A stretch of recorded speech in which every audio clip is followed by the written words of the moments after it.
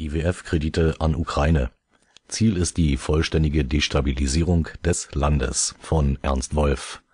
16.02.2015 Ernst Wolf ist freiberuflicher Journalist und Autor des Buches Weltmacht IWF – Chronik eines Raubzugs, erschienen im Tectum Verlag Marburg. Am 12. Februar verkündete Christine Lagarde, Direktorin des Internationalen Währungsfonds, der IWF habe sich mit der ukrainischen Regierung auf ein neues wirtschaftliches Reformprogramm geeinigt. Die Bekanntgabe der Nachricht erfolgte nur wenige Minuten nach Beendigung der Friedensgespräche zwischen den Regierungschefs Deutschlands, Frankreichs, Russlands und der Ukraine in Minsk. Der Zeitpunkt war nicht zufällig gewählt. Die USA waren von den Friedensgesprächen ausgeschlossen worden und reagierten nun, indem sie die Welt durch ihre mächtigste Finanzorganisation eine klare Botschaft zukommen ließen: Die Politik der Ukraine wird auch weiterhin von Washington aus bestimmt, wenn schon nicht durch Waffenlieferungen, dann zumindest wirtschaftlich und finanziell. Christine Lagardes Behauptung, das Programm werde für eine unmittelbare wirtschaftliche Stabilisierung sorgen und markiere einen Wendepunkt für die Ukraine, sind ebenso weit von der Wirklichkeit entfernt wie das seit Jahren von den Mainstream-Medien vermittelte Bild des IWF als einer Hilfsorganisation, die in Not geratene Länder rettet. Kaum ein Cent der Kredite wird die arbeitende Bevölkerung der Ukraine je erreichen.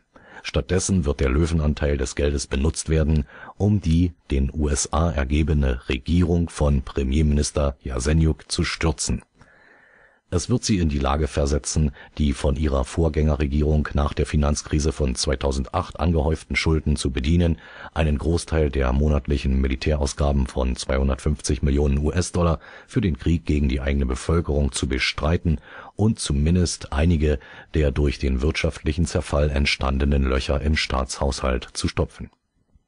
Als Grundlage für die Kredite dienen das Wirtschaftsprogramm für 2015 bis 2020 vom Dezember 2014 sowie die harschen Bedingungen der im August 2014 zwischen IWF und ukrainischer Regierung abgeschlossenen Absichtserklärung Letter of Intent.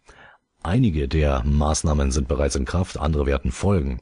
Zu den bereits in Kraft getretenen zählt die Wechselkursfreigabe der ukrainischen Währung Hryvnia Ihre 67-prozentige Abwertung hat internationalen Devisenhändlern zu Milliardengewinnen verholfen, während sie den durchschnittlichen Monatslohn im Lande unter 50 Euro gedrückt hat. Die 25-prozentige Inflation von 2014 und eine Erhöhung der Gaspreise um 50 Prozent im Mai 2014 machen dem schwächsten Viertel der Bevölkerung ein Überleben fast unmöglich aber auch der Rest der arbeitenden Bevölkerung, vor allem Alte und Schwache, werden eine drastische Verschlechterung ihres Lebensstandards hinnehmen müssen. Für 2015 und 2016 sind die Entlassung von 10 Prozent der Beschäftigten im öffentlichen Dienst und die teilweise Privatisierung von Gesundheits und Bildungswesen geplant. Das Renteneintrittsalter für Frauen soll um zehn Jahre, das für Männer um fünf Jahre erhöht werden Soziale Vergünstigungen für Rentner sollen gestrichen, der Markt für Medikamente soll dereguliert werden. Die bestehenden Renten werden eingefroren, das kostenlose Mittagessen für Schulkinder und Patienten in Krankenhäusern wird gestrichen. Die Zahlungen an die Opfer der Katastrophe von Tschernobyl werden gekürzt und die Grenzen der radioaktiven Gefahrenzone neu festgelegt der staatlich festgesetzte Mindestlohn wird entgegen früheren Zusagen nicht angehoben, sondern verbleibt bis November 2015 bei 1.218 Hryvnia (knapp 42 Euro).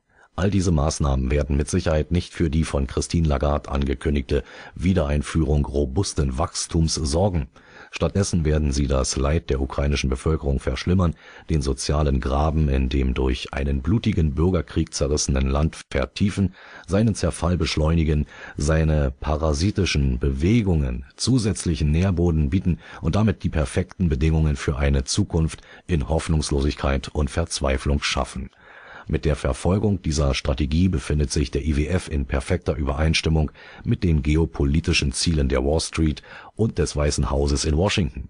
Beide stecken derzeit in tiefen Schwierigkeiten, da wegen der Explosion der Einkommensungleichheit schwere soziale Konflikte in den USA drohen und die in Schulden ertrinkende Regierung wegen des wirtschaftlichen Niedergangs der USA und der globalen Machtverlagerung hin zu den BRICS-Staaten zunehmend die Kontrolle über das Weltfinanzsystem verliert. Wall Street und das Weiße Haus sind allerdings nicht bereit diesen historisch unumkehrbaren Prozess tatenlos hinzunehmen. Deshalb führen sie derzeit einen weltweiten Kreuzzug gegen Russland und China, die es gewagt haben, sich gegen den Petrodollar zu versündigen und einen Vertrag über langfristige Öl und Gaslieferungen außerhalb des Dollars abzuschließen Außerdem befürchtet Washington, dass beide Länder sich möglicherweise an der Einführung einer neuen goldgedeckten Währung beteiligen könnten, die den US-Dollar als weltweite Reservewährung ablösen und das endgültige Aus für die globale Vormachtstellung der USA bedeuten könnte. Um dies zu verhindern und sich darüber hinaus die Kontrolle über die riesigen und gewaltigen Profite versprechenden Ressourcen Russlands zu sichern, betreiben Wall Street und das Weiße Haus seit einigen Jahren eine gezielte Politik des Regimewechsels in Moskau Moskau. Ihnen ist jedes Mittel recht, um die gegenwärtige politische Führung in Moskau durch eine Regierung zu ersetzen, die den US-Interessen genauso ergeben ist wie das Kabinett von Premierminister Jasenjuk in Kiew. Eines der Ziele der USA war zunächst die Integration der Ukraine in die NATO. Mit dieser Maßnahme sollte der militärische Druck auf Moskau erhöht werden. Doch die EU, insbesondere Deutschland, scheinen nicht bereit, sich auf einen Krieg gegen Russland einzulassen, nicht aus humanitären Erwägungen heraus, sondern wegen ihrer Abhängigkeit vom russischen Gas und Öl und vermutlich wegen ihrer Erwartung einer neuen Weltfinanzordnung, die nicht mehr von den USA beherrscht wird auch die Mehrheit der US-Bevölkerung scheint trotz einer massiven Medienkampagne mit dem Ziel der Dämonisierung Wladimir Putins nicht bereit, einen Krieg zu unterstützen, der mehr Geld und mehr Leben als alle früheren Kriege kosten und in einer nuklearen Katastrophe enden könnte. Deshalb zielt die gegenwärtige Politik von US-Regierung und Wall Street persönlich darauf ab, die bereits bestehenden sozialen, ökonomischen und ethnischen Konflikte in der Ukraine anzuheizen und zu verschärfen auf diese Weise hofft man, Wladimir Putin und seine Gefolgsleute in einen lang anhaltenden und kostspieligen Krieg an der Westgrenze Russlands hineinzuziehen, der seine Position im eigenen Land schwächen und schließlich den Weg für die Einsetzung einer neuen Führung in Moskau bereiten könnte Betrachtet man die Ukraine auf diese Weise als einen Teil der gegenwärtigen geopolitischen Auseinandersetzungen, so wird einem klar, dass die von Christine Lagarde angekündigten neuen Kredite des IWF ganz gewiss keinen Wendepunkt zum Besseren darstellen. Stattdessen werden sie einmal mehr unsägliches menschliches Leid bewirken und zu der langen Blutspur beitragen, die der IWF in der Vergangenheit in so vielen Fällen nach der Ankündigung von Hilfe und Unterstützung für in Not geratene Staaten hinter sich zurückgelassen hat.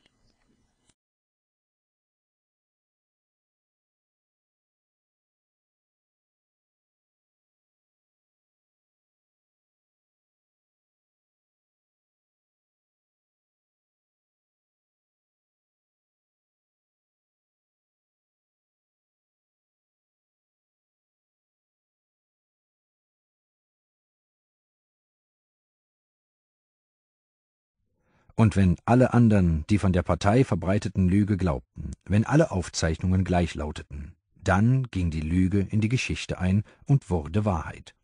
George Orwell 1984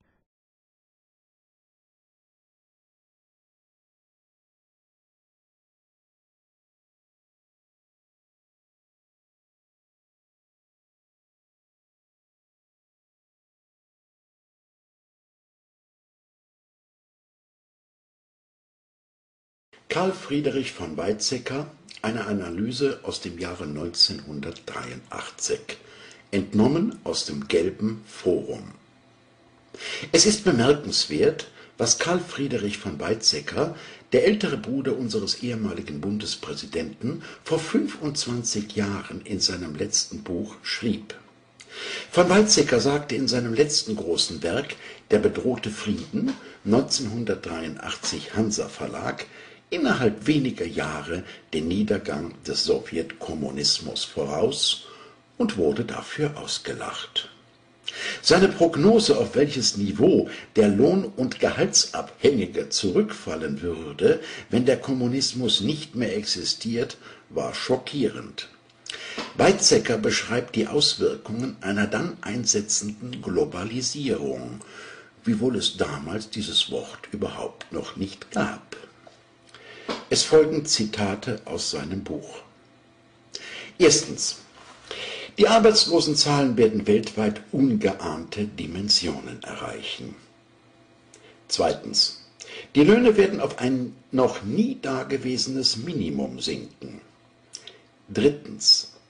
Alle Sozialsysteme werden mit dem Bankrott des Staates zusammenbrechen. Rentenzahlungen zuerst. Auslöser ist eine globale Wirtschaftskrise ungeheurer Dimension, die von Spekulanten ausgelöst wird. Viertens.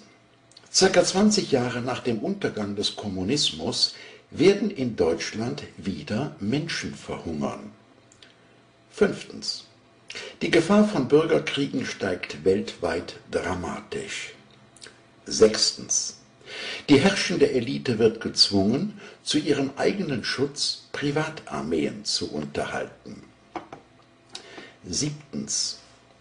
Um ihre Herrschaft zu sichern, werden diese Eliten frühzeitig den totalen Überwachungsstaat schaffen, eine weltweite Diktatur einführen. Achtens. Die ergebenen Handlanger dieses Geldadels sind korrupte Politiker. Neuntens. Die Kapitalwelt fördert wie eh und je einen noch nie dagewesenen Nationalismus als Garant gegen einen eventuell wieder erstarkenden Kommunismus. Zehntens. Zum Zweck der Machterhaltung wird man die Weltbevölkerung auf ein Minimum reduzieren. Dies geschieht mittels künstlich erzeugter Krankheiten. Hierbei werden Biowaffen als Seuchen deklariert, aber auch mittels gezielten Hungersnöten und Kriegen. Als Grund dient die Erkenntnis, dass die meisten Menschen ihre eigene Ernährung nicht mehr finanzieren können. Jetzt wären die Reichen zu Hilfsmaßnahmen gezwungen, anderenfalls entsteht für sie ein riesiges, gefährliches Konfliktpotenzial. Elftens. Um Rohstoffbesitz und dem eigenen Machterhalt zu dienen, werden Großmächte Kriege mit Atomwaffen und anderen Massenvernichtungswaffen führen. Die Menschheit wird nach dem Niedergang des Kommunismus das skrupelloseste und menschenverachtendste System erleben, wie es die Menschheit noch niemals zuvor erlebt hat. Das System, welches für diese Menschen verantwortlich ist, heißt unkontrollierter Kapitalismus. Karl Friedrich von Weizsäcker sagte vor 25 Jahren, dass sein Buch, welches er als sein letztes großes Werk bezeichnete, mit Sicherheit von der Bevölkerung nicht verstanden würde und die Dinge somit ihren Lauf nehmen.